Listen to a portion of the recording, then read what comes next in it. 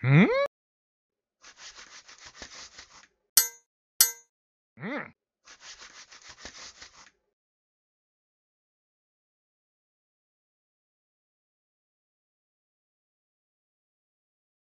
Welcome back everyone to another episode and in this edition I'm going to be doing a continuation essentially of the last video which was on differential amplifiers. This time we're going to be seeing these diff amps in operational amplifiers and we'll be talking about some of the characteristics, uh, the ideal versus the practical, the real world, some of the electrical characteristics that we're going to see, uh, some unique measurements to op amps, and then we will do some videos in the following experiment. This is a little different than what I usually do in every episode that I've had pretty much up to this point. There's been a, a, a theory and then a demo on a, a breadboarded circuit. Well, this time I think I, there's probably a little bit too much theory to cover and add a experiment, actually four that I can think of that would need to be done just to do the intro material for, for op amps. So this one will be the theory portion and the next one will cover all of the experiments which prove that the, the data sheet actually doesn't lie to us and it's uh, some good information. What you see here are, are different styles or packages of op amps. Of course we have the the this is the almost the ubiquitous one, uh, the 741 op amp, and this is the one that we'll be doing all of our experiments on. This one is from TI, and you can see it's uh, it's eight pins, uh, one of which isn't used. And so this is a P-dip, and this is a transistor-based device. Then we have a JFET op amp. This actually has two of them, so this one has a little bit higher input impedance. And I doubt if you can find a whole lot of these anymore. This is a TO99 package. And the data sheet that I found for this is from Harris, which has been purchased by Intersil. This uh, the data sheet actually goes back to 1979 for this device, but the electrical characteristics of this are pretty much identical to the characteristics in, in this one, which is a, a recent uh, recent manufacture. And then of course you have the surface mount uh, devices. This one's a, a small gull wing device and it looks like some of the gull wings have been clipped so this one's probably junk. Unless I can solder it into the board somehow. Um, but it'll also have the uh, very similar characteristics to, to all of the op amps. So we'll talk about those characteristics and uh, how we can use these circuits in some future lectures. So we'll talk about these electrical characteristics and then the uses of op amps in in future videos and do some breadboarding on that as well. So let's go ahead and get started.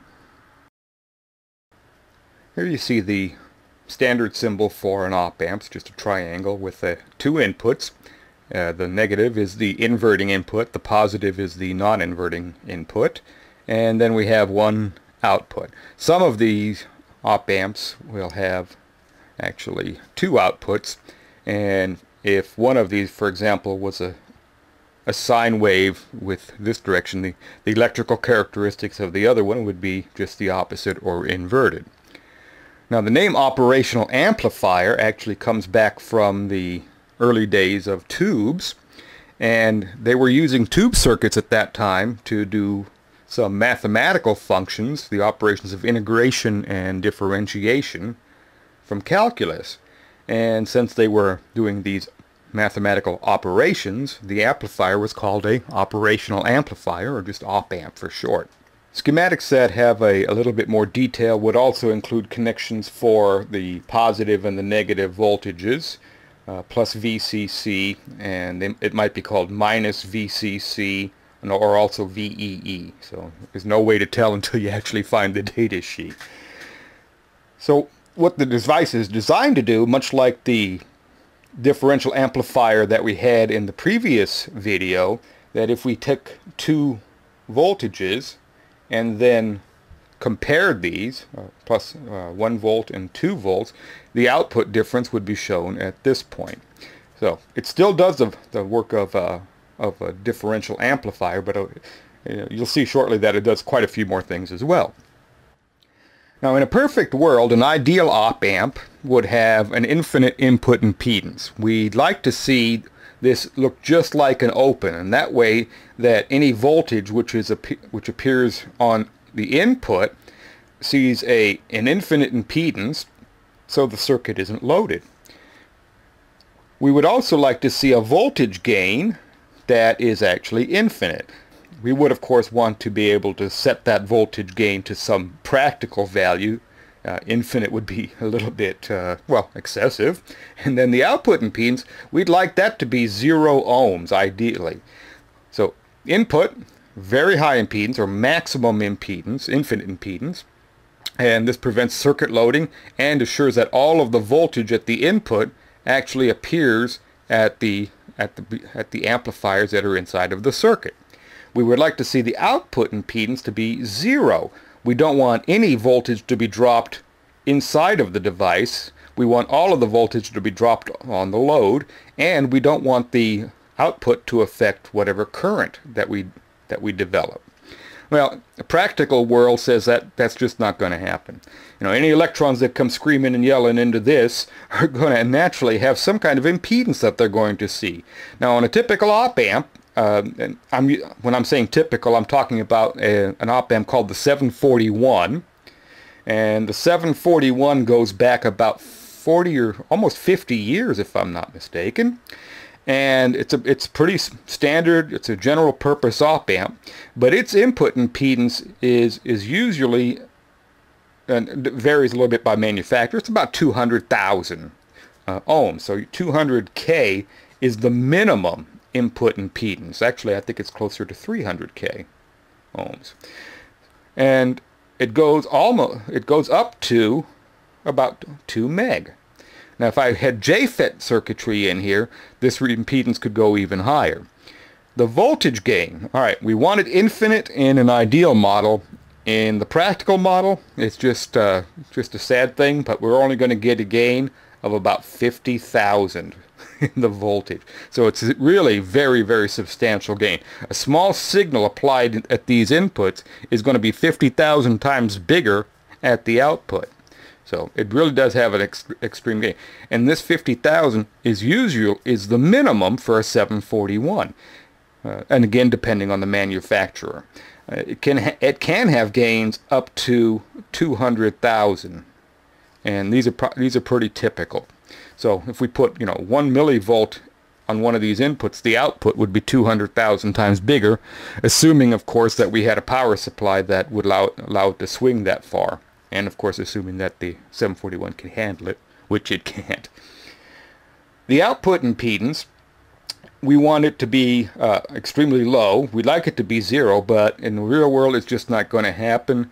Uh, we, even the lead resistance that's in here is going to cause some kind of a, a, you know voltage drop.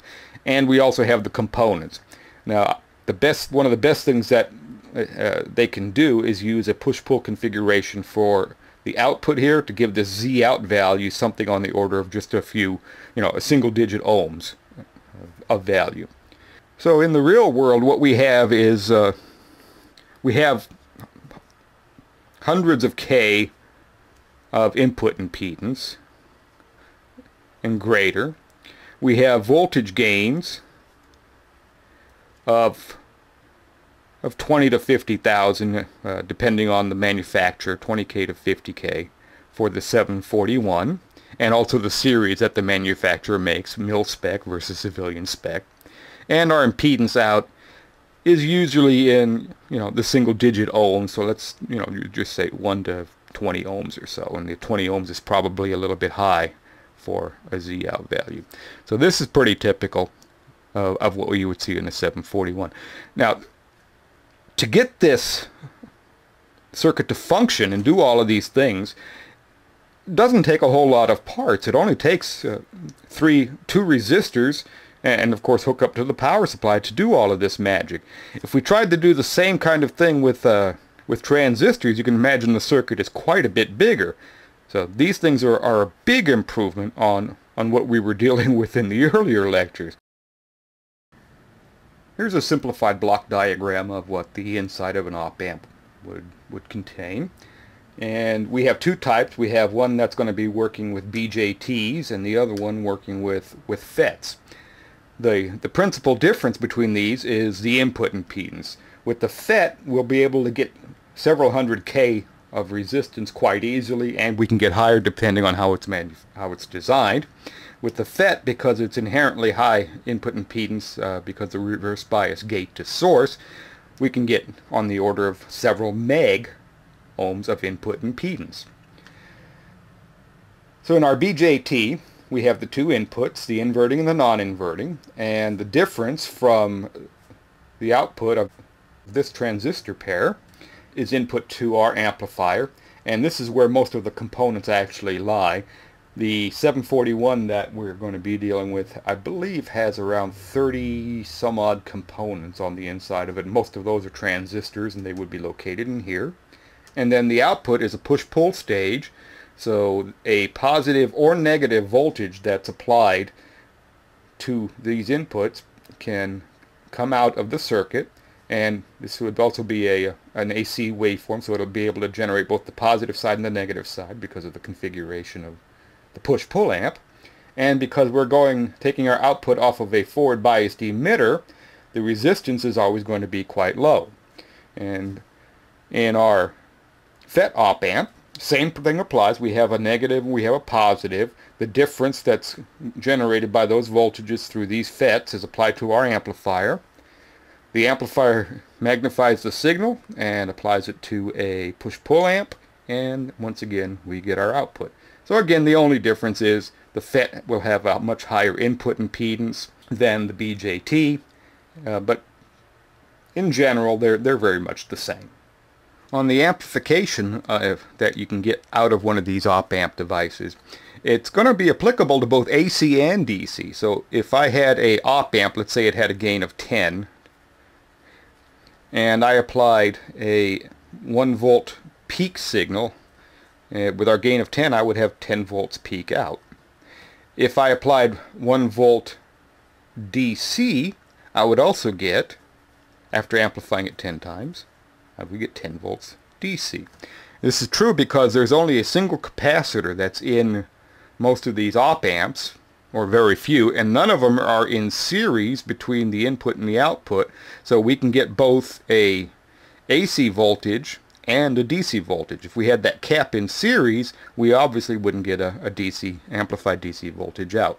So the op amp will, will amplify both the AC and the DC just as well.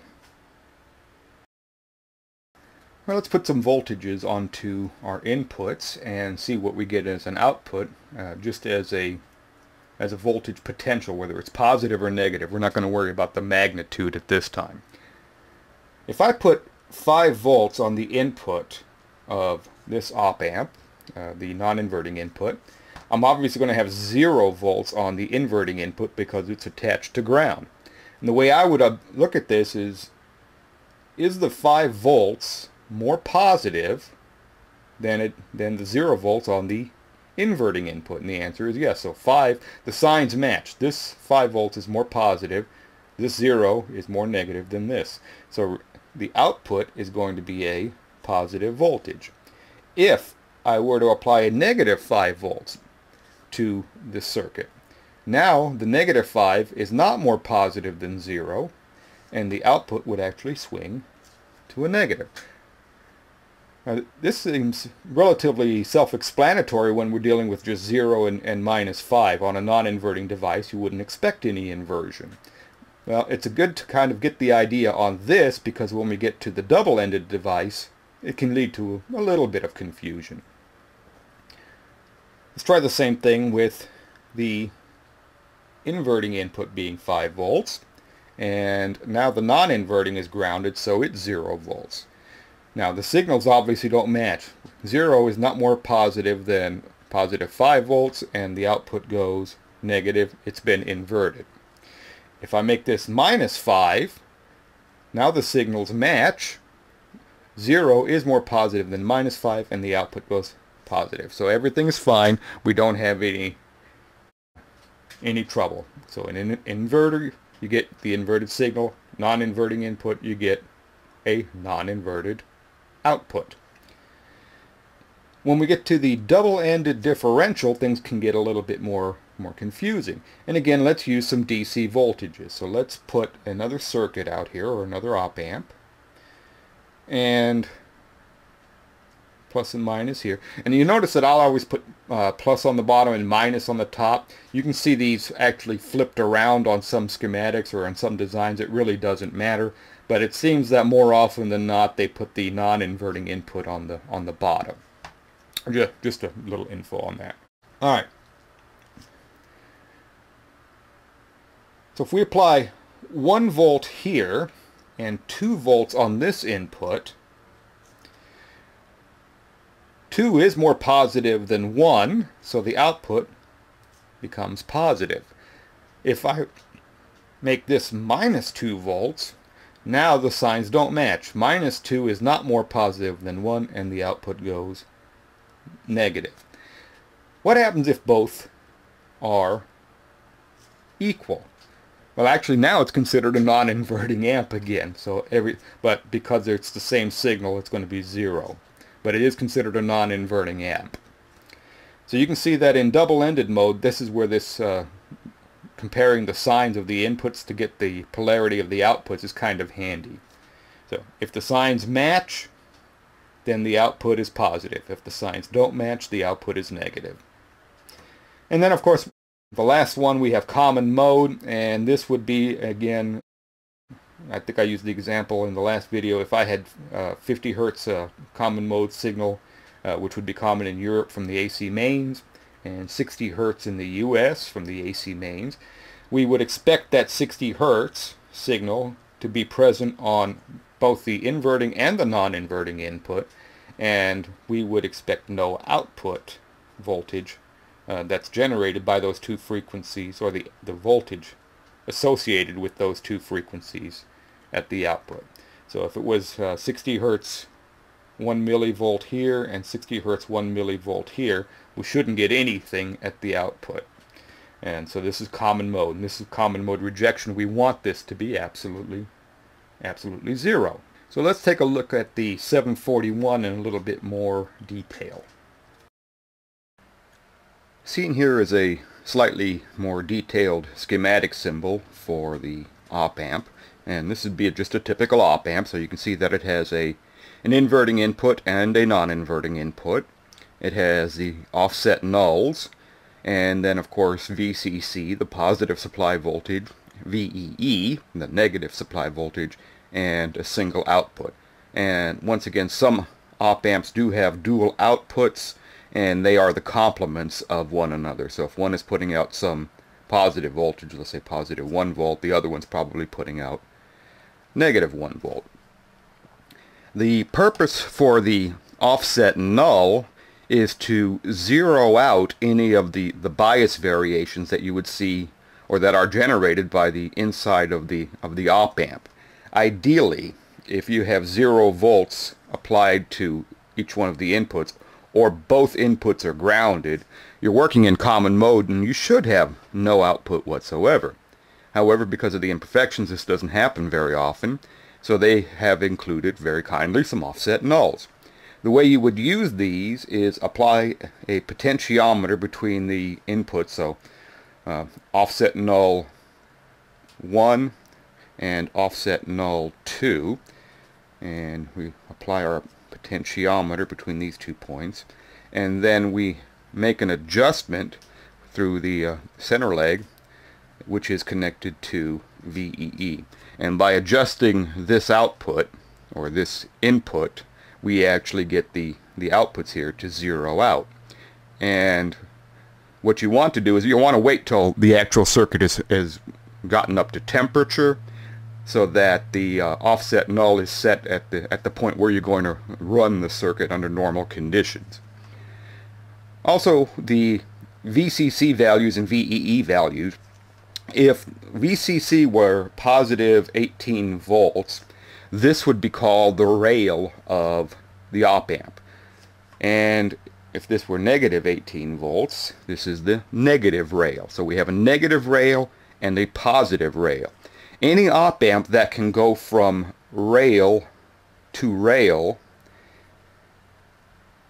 is capable on its output of going all the way to whatever the values of VCC and VEE are. So if we have an 18 volt positive rail and a 18 volt negative rail, the rail to rail voltage or an op amp that can go from rail to rail would be able to go to positive 18 and down to negative 18. And this isn't true of all op amps. The 741 is an absolute exception to this. As a rule, it should be able to with a 15 volt supply, so let's mark these out and just put 15 volts and minus 15. As a rule, a 741 should be able to go to about 14 volts on the output. So plus 14 to, to minus 14 at these outputs. And that's typical, and the minimum is 13 volts. Uh, I use a, just a general rule of thumb. that I think about it as, well, if I have 15 or whatever voltage I have here, I just take 10% of that, subtract it from the voltage, and, and under and I think optimistically I should be able to get that voltage out. So using that simplified rule, 15 volts, 10% of that it would be 1.5 volts, and 1.5 15 so I would expect 13.5 and this gives me a little bit more uh, security in that the output is going to be reached so um, whatever you choose to use. Uh, data sheet is always the best, of course. This is a actual pinout for a 741 op amp, and you can see the offset null is on pin 1. Our inverting amp is, uh, input is on pin 2, non-inverting on 3. Our negative supply voltage is pin 4, and our positive supply is on pin 7. Pin 8 has no connection on it. It's not needed. Uh, again, in some op amps, this might be used as, a, as the other output. Uh, pin 6 is an output, and pin 5 is the offset null. This is the typical pin out for a 741 op amp that is a 8-pin P-dip. One issue that all op amps have is something called the slew rate limitation. Slew rate is a change in a voltage over a given period of time. So if we had this waveform on an oscilloscope, we would obviously have the change in time in this direction and the change in voltage in this direction. In the op amp, on the data sheets, they're always going to give a value. Uh, it's usually listed as uh, volts per microsecond or, or volts per millisecond. It's, it gives you the rate that the op amp can react to a change of the input waveform. If we have a sine wave whose amplitude is too high, so we have a sine wave and its voltage or its amplitude is too high, or its frequency is too fast, the op amp may not be able to keep up with how fast the wave is changing. And in a sine wave, if you remember that you generally get half the voltage in the, in the first 30 degrees of the waveform. So there's a really rapid change as we go from 0 up to 30 degrees and from 150 down to 180 degrees. And if, if we wanted to plug that in, let's say that we had 10 volts uh, peak for our signal.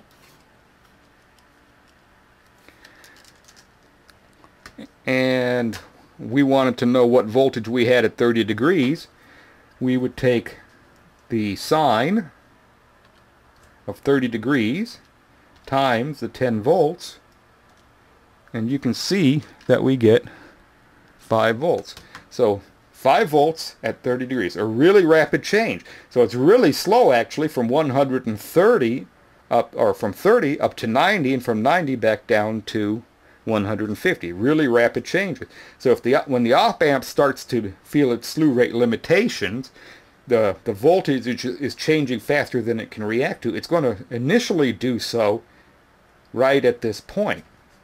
Now if we did the same thing with a square wave, all bets are off. The really rapid rise times of these square waves make it impossible for the op amp to reproduce a perfect square wave. So again, we were limited by that volts per microsecond change. And with, with, a, with a sine wave, if we get that frequency high enough, we actually end up with a triangle wave, and the amplitude is going to be substantially smaller than the original sine wave. And in a square wave, we might reach that amplitude of the original square wave, but it's going to be extremely cut off at the at the front and the back of the of the wave. So it's not going to resemble what it started out at, at all. One way to determine if a signal that you have is going to exceed the slew rate, it's a simple calculation. We just take 2 pi times the voltage peak times the frequency and then we divide it by 1 meg. And we divide it by 1 meg so we can get the answer in volts per microsecond. I haven't seen this in any books, but the the the extrapolation is, is, is pretty straightforward. So if we took an example, let's say that we had a frequency of of 10 k hertz and our voltage peak was 5 volts, would this exceed the slew rate? Now 741, it, its slew rate is about 500 millivolts per microsecond. Well, it isn't about, it's supposed to be at least that. So if we, again, plug the values in, 2 times, times 10 k hertz, times our 5 volts, and then we divide this by 1 meg, and you can see that the change is 314 millivolts per microsecond so we can apply a signal of, of this voltage and this frequency to our 741 and, and get a good output. So we had 314 millivolts per microsecond.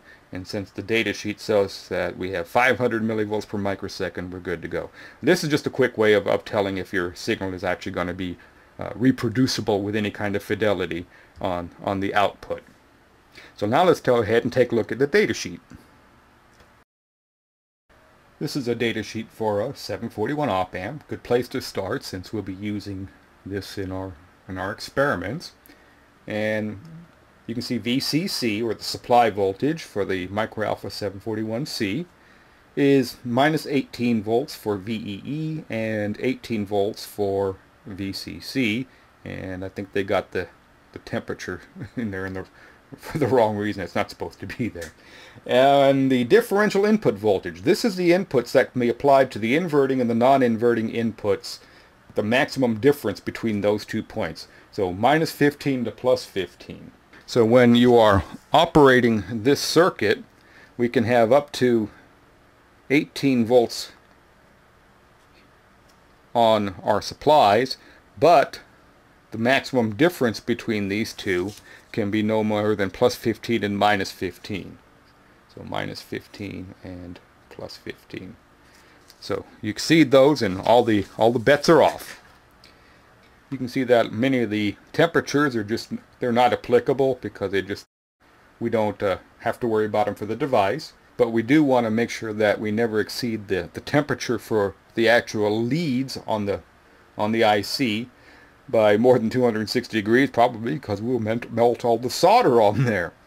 And the operating temperature is up to 150 degrees centigrade, but the storage temperature is minus 65 to plus 150. Now, these are maximum values up here. Uh, and what the actual company recommendation is that you operate it at a maximum value of 15 volts, but a, no less than 5 volts and this is true of course for the positive and the negative rails and that also the operating temperature in open air doesn't exceed uh, 70 degrees centigrade. So pretty straightforward so far. Here are the electrical characteristics of a 741 and you can see the first value listed is the input offset voltage and the on the inputs of our op amp ideally we'd like to see zero volts on both of these. But because there's always going to be a slight mismatch between the base emitter connection on our differential pair on the input of the transistor we're going to get a really small voltage in here. And we would like that voltage to be to equalize to be zero. However that voltage it, it can it can be something on the order of as much as 6 millivolts. So we can really have a 6 millivolt difference between these two pins and one way we can measure this is actually put a resistor on these and then ground this, measure the voltage on those and the difference in these two would be our, our offset voltage. If we want to adjust this out, we would use the offset adjustments and it can take that, make an adjustment of plus or minus 15 millivolts to the output. So it can zero this out by applying a little bit of uh, adjustment on those offsets. Now the input offset current is the difference between the currents on our two inputs. So again, ideally we'd like these base emitters and all the betas and all, etc. to be exactly equal, but there can be a difference in the current that's going through one of the differential uh, transistors compared to the other one in the differential pair. So if we had a 100 nanoamps value on one and 200 nanoamps on the other one, our input offset current would be 100 nanoamps. And you can see here it's typically anything between 20 nano and, and 200 nano. The input bias current is actually the average of these two input currents. So using the same 100 nanoamps and 200 nanoamps, the bias current would be 100 nanoamps plus 200 nanoamps divided by 2. So our bias current would be 150 nanoamps. So pretty, pretty self-explanatory there too. Next we come to the common mode input voltage range and this is the these are the voltages that would be effectively rejected by the op amp if they were equal up to a, a maximum value. So the input rejection works well up to plus or minus 13 volts. And after that, you know, all bets are off. The maximum output voltage swing, that's going to be dependent on the value of our load resistor. But you'll notice that if we apply the, the values that they wanted to us uh, on, the, on the data sheet earlier, remember it was 15, 15 volts for the, for the typical supply values, plus and minus, that with these plus and minus 15 volts, your typical swing is going to be plus or minus 14. So you're going to get a little bit less than the full uh, supply voltages. So this op amp, the 741, does not go from rail to rail. It's actually a little bit short. I use a general rule of thumb in that, in, in that I say it's usually about 10% less than whatever the supply voltage is. So in this case, uh, 15 volts, 10% of that would be 1.5. So I, I would expect 13 and a half volts and it's just a, a, little rule of thumb that I use unless of course I'm using a specific op amp that will actually go from from one rail to the next. This data sheet gives the voltage gain in a little bit different fashion than what we what I'm used to seeing. In that you know normally we'd just see an AV so it would be an AV of uh, I would say 50,000 or, or some such so we'd have an AV of 50k in this data sheet they actually give it volts per millivolt. So as a as an example this op amp as a minimum for every millivolt applied would change 20 volts which would give us an AV of 20k. So our 741C should have a minimum gain of 20,000. It just didn't list it in this one. It gave it as a specification. However, the typical gain for this is 200 volts per millivolt or 200k for the AV. So that's the typical value and this is what we can expect. So you can see that this is an extremely extremely large amount of amplification, much larger than we would actually get with a with just a, a couple of transistors.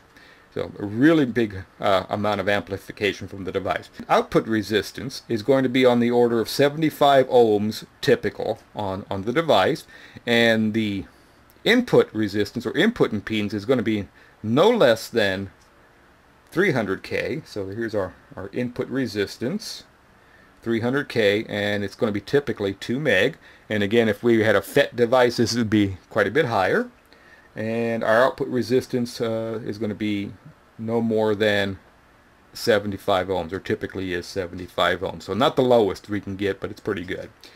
Input capacitance, 1.4 puff, so it's really low input capacitance. And here's our common mode rejection. So the ability of this op amp to reject identical signals on both inputs is typically 90 decibels. So this is really, really something good. And if we follow it further down, the next important point, uh, short circuit output current. So this will actually uh, limit itself at plus or minus 40 milliamps. Supply current is going to be, so the energy that the, that the device actually uses is only going to be about 2.8 milliamps maximum, not, not very much at all. And the power dissipation is going to be 85 milliwatts or less. It's a little bit high for power consumption, but the op amp still works, and you got to remember it's been around for 50 years, so the state of the art has increased uh, or improved, and well, the 741 hasn't that much. It's still the same. Well, we just saw that the gain of this circuit is anywhere between 20,000 minimum and a typical value of 200,000, but it's obvious that that frequency or that amplification can't be maintained as the frequency goes up. There's a, there's got to be a, a cutoff point, and that's shown in these AC characteristics charts. And the one of interest is is this one. You can see that as we go up at, at 10 hertz, 100 hertz, and 1K, even at this point, the gain of the circuit begins to drop substantially. So we're, we're way up at our 200K over here, and this chart is given in decibels, which is unfortunate. I'd rather have seen it given in AV. Uh, nice logarithmic charts. So you can see that as long as we're below about uh, 6 or 8 hertz, the gain is going to be really high, but you can expect it's going to drop off as the frequency goes up until eventually we get to no gain at all, right around uh, 1 meg. And that's assume, making the assumptions that we have a VCC of plus or minus 15, uh, plus 15 and minus 15, and our uh, output voltage is 10 volts with 2K, etc.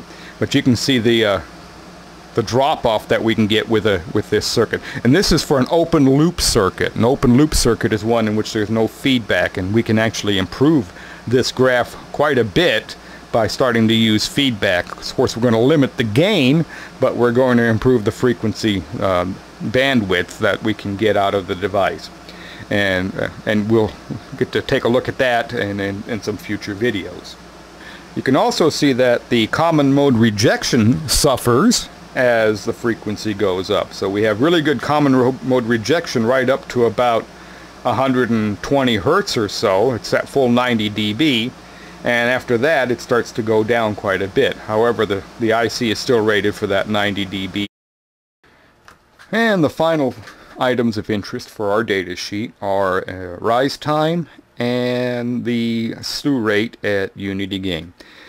So the slew rate we've talked about a little bit already and we know that if we're taking a, a waveform such as a sine wave or a, a square wave, the op amp can't react quickly enough to changes in the voltage or the frequency to get a, a good output. And the slew rate is normally given in volts per microsecond or volts per millisecond. So we can see that it's 500 millivolts per microsecond. And you can also see a, a rise time value. Well, the rise time value, if you remember from AC, when you measure a, a wave, you measure rise time between the 10% point and the 90% point. And the data sheet for this op amp says that that rise time from this point to this point should take no more than 0.3 microseconds. So it's extremely fast rate of change. And if it's a square wave, there might be a little bit of an overshoot, but it's not going to be more than 5% of whatever the, the value is. So if we're going up here, so 5%, something like that. A little ringing thrown in for good measure. Well, that's the basic theory on op amps. So now we know that they have a good voltage gain, they have a very high input impedance, they have a low output impedance, they are limited by the ability of the internal components to change rapidly, so they're limited by the by the slew rate. We can't exceed the voltage difference between any two pins on the op amp at the inputs by too much. Uh, we definitely can't go over, apply more than the supply voltages, so we can't apply 16 volts here and 16 volts here. That would damage the IC. And we also now know that, well, if we have 15 volts applied, we're probably not going to get more than according to our data sheet, about 14 volts. And of course the op amp is also frequency limited and the gain is going to go down as the frequency goes up and that's because of well, Miller effect and capacitances and all, all those other wonderful things. So in the next couple of videos or in the next video we're actually going to test all of these values, the slew rate, the uh, voltage offset uh, values, the input offset values, and the common mode rejection. So I hope to see you then, and thank you again for watching.